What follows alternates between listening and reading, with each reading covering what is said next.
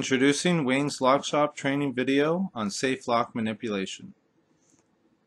With diagrams and explanations of the inner workings of a common safe lock, diagrams can simplify the process making it easier to understand manipulation. Dual cameras allow you to see both inside and outside of the lock to show you a clear picture of how manipulation works. Check it out at wayneslockshop.com.